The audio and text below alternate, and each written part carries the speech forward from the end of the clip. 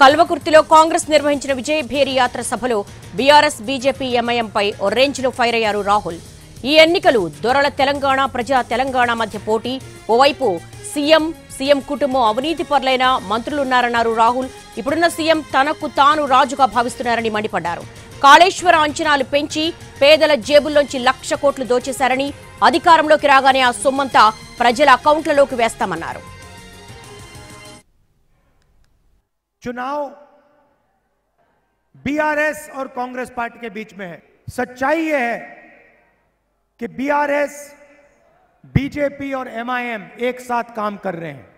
Parliament house में, लोकसभा में BRS ने बीजेपी का पूरा समर्थन किया। किसान बिल लाने में जीएसटी नोटबंदी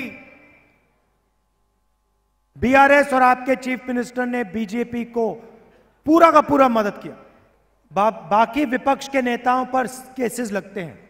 ED CBI income tax vigilance मेरे ऊपर 24 केस लगे हुए हैं। मेरी लोकसभा की मेंबरशिप रद्द कर दी। मेरा जो घर है सरकारी घर वो ले लिया।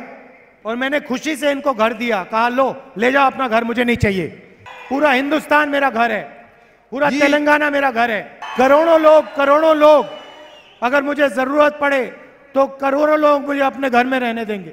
ले जा उठा के अपना घर।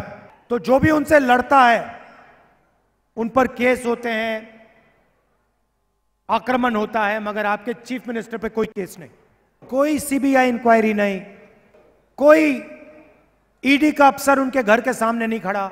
इनकम टैक्स वाले कोई सवाल नहीं पूछ रहे, क्योंकि आपके चीफ मिनिस्टर और नरेंद्र मोदी एक साथ मिले हुए हैं। तो आप ये समझ के चलिए कि लड़ाई कांग्रेस पार्टी और बीआरएस के बीच में है।